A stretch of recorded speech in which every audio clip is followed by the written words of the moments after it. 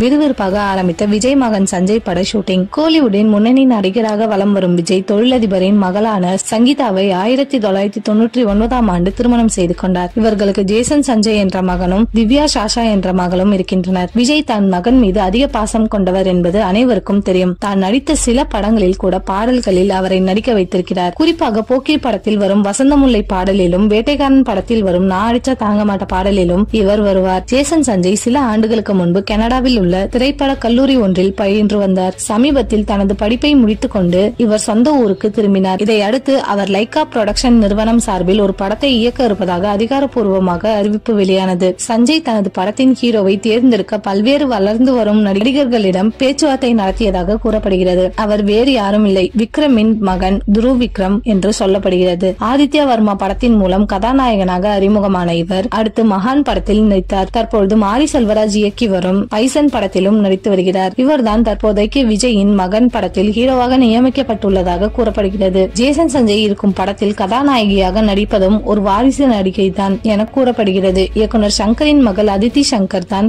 அவர் என்று சினிமா வட்டாரங்களில் தகவல்கள் வெளியாகியிருக்கிறது. இவர் ஏற்கனவே விருமன் மாவீரன் உள்ளிட்ட படங்களில் நடித்திருக்கிறார்.